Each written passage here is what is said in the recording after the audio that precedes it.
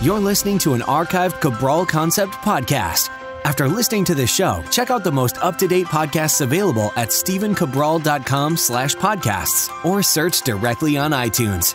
And now, welcome to the Cabral Concept, where board certified naturopath and integrative health practitioner Dr. Stephen Cabral shares how he was diagnosed at the age of 17 with a life altering illness and given no hope for recovery. It was only after studying and traveling all over the world did he discover how to combine ancient Ayurvedic healing practices with state of the art naturopathic and functional medicine to fully rebalance the body and re energize it with life. It's time to discover how to get well, lose weight, and finally feel alive again. And now, here's your host, Dr. Stephen Cabral.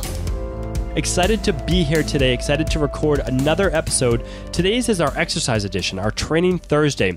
We're going to talk about a topic that just popped up the other day it's one of those things that I don't talk about enough. And that's how your posture when you're seated at your desk, when you're seated just in general at home, and also in your car affects everything. It affects your posture. That affects your um, everything from your mood to your back pain to your tight joints and all of those other issues. And I've just seen so many people lately in my practice with neck based issues, with really uh, numbness in the hands, all the way down the shoulder. So I want to go over that today. How we can really work on and fix that lower back and make sure that lower back issues don't become an issue in the future as well. So, Today's title of this episode is How to Fix Your Seated Slouched Over Posture. And so I want to tell you all the different things that you can add to your exercise routines, and you can even do just when you wake up in the morning to combat that slouched over posture. So, one thing we have to keep in mind is why does our posture in the first place start to get poor when we are seated for a long period of time?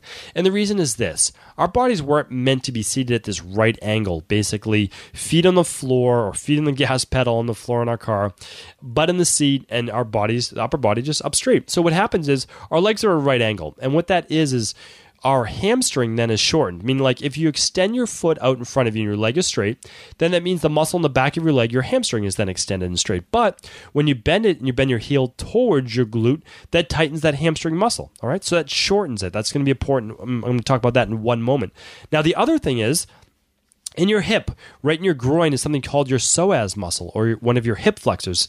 It's always called your hip flexor. Now you have many hip flexors, but your psoas is just what a lot of people talk as uh, of as their hip flexor. Now, when that gets tight, keep in mind that specific muscle, the psoas major, psoas minor as well, but psoas major connects actually to the spine. A lot of people don't know this. They they kind of glaze over it, but believe it or not, that psoas muscle connects to even the bottom of the mid back, which is called the thoracic vertebrae. Now, there's 12 thoracic vertebrae, and those are all the kind of like where the discs sit in your back. Those are all the bones that kind of hold those discs in between.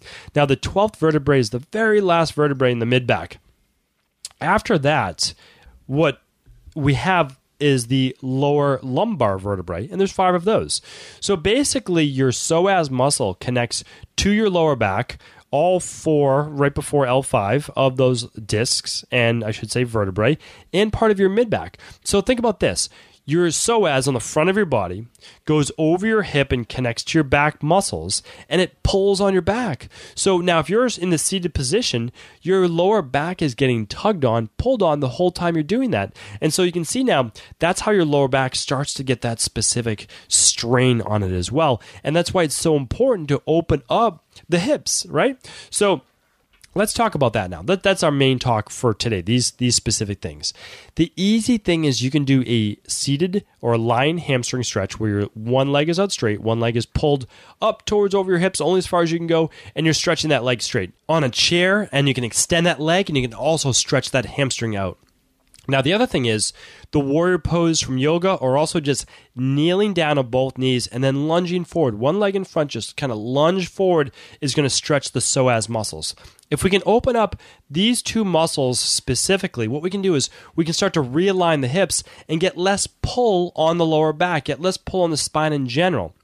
Now, your back is obviously going to be a whole lot healthier and happier if it doesn't have any muscles pulling and tugging on it. Because keep in mind, everyone's always looking to stretch their lower back. But believe it or not, the lower back itself is meant to be pretty solid, pretty structural, pretty locked in place. The thoracic back, the muscles above the lower back, and the muscles in the hips that are supposed to be a lot more mobile. They're supposed to be more flexible. You're supposed to be able to move those around so that your lower back doesn't have to do all the twisting. There shouldn't be a whole lot of twisting going on with that lower back. The twisting should come from your mid back and rotation from the hips. Very, very important. Now, always keep in mind the body moves from the ground up. We need loose ankles, we need kind of very flexible calves, very flexible hamstrings, solid knees, and solid lower back. Really important. So now let's get in the exercise part of it. What can you do to help combat that posture? Well, really easy things like super simple things that you can do when you wake up that you can add to your exercises.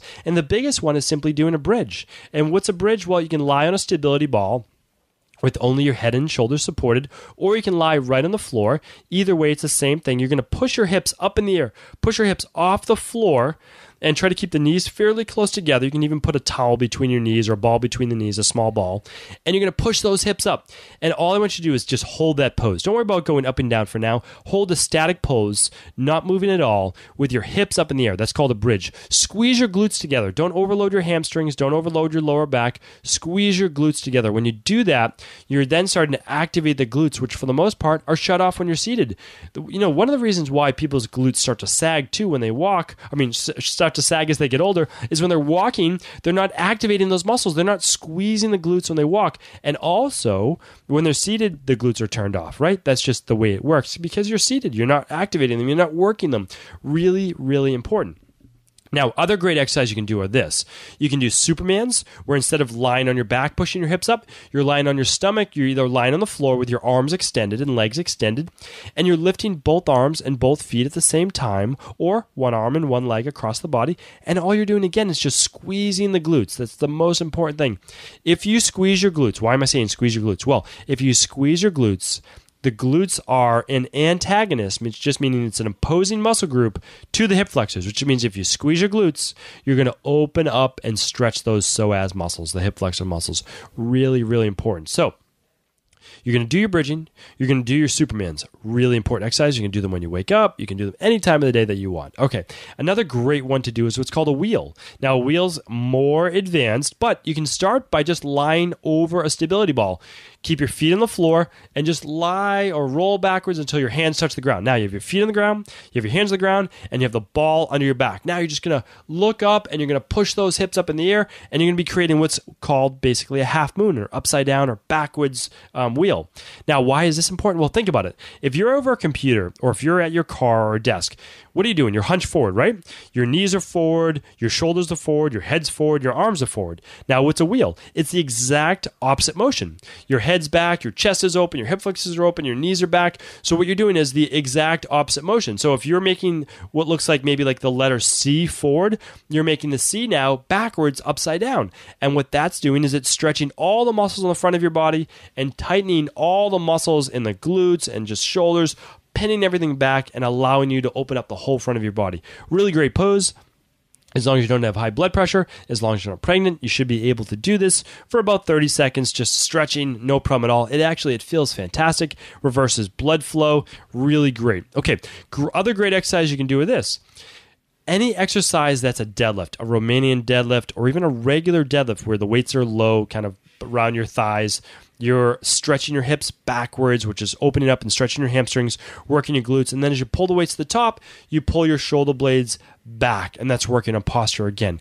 So, again, all these videos can be found. If you just go to YouTube, I have, I don't know, 200 videos on YouTube that I've done with um, diet.com that I'm just been as their fitness expert, showing all these different exercises. You can just type in deadlift, Romanian deadlift, bridge, wheel, Superman. You'll see all of these great exercises. And one more, one more exercise that's really easy to do is lying on your stomach hands underneath your chest, elbows underneath your chest. And what you're going to do is you're just going to slowly push up just with your chest off the floor, head off the floor. Keep your hips in contact with the floor, keep your legs extended straight. And what this is going to do is called a cobra stretch. And you're just going to look up and you're going to stretch your abs, stretch your chest, and it even stretches your hip flexors a little bit as well. Great stretch helps to combat a little bit of um, the tight muscles in the neck, tight muscles through the chest and abdomen and hip flexors, psoas muscles as well. Really nice stretch. That's called a cobra stretch. Okay, so hopefully today's episode just showed you that you're not going to be able to escape sitting down, right?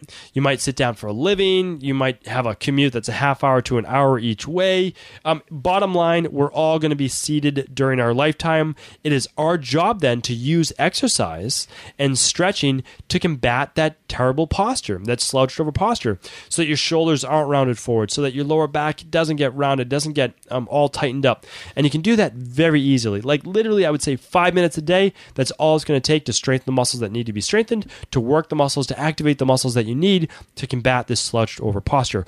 Hopefully, today's episode was helpful. Please email in just by going to stephencabral.com forward slash ask Cabral with any questions that you may have exercise related, and I would be happy to answer those on the house call editions of the Cabral concept.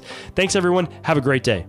Did you know that the body really only becomes sick or unbalanced in only two ways? Over time, you become deficient in vital nutrients, and you also accumulate toxins internally and from the environment. As those nutrients diminish and you increase your total toxic load, your body then begins to show the first signs of dis-ease. It's actually quite predictable, and the good news is that if we know how you began to fill up that proverbial rain barrel, we also know how to empty it to begin the healing process.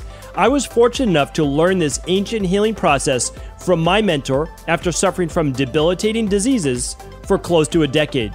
It was only when I began to implement these techniques did I finally overcome my illnesses and go on to live a life of energy and vitality that I now enjoy.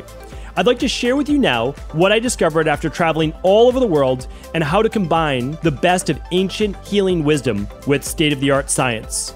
Allow me to teach you exactly how I've been able to help over a quarter of a million people to empty their rain barrel and begin to transform their body and lives into what they've always hoped they could be. To get your copy of the international bestseller, The Rain Barrel Effect, simply go to stephencabral.com forward slash rain barrel.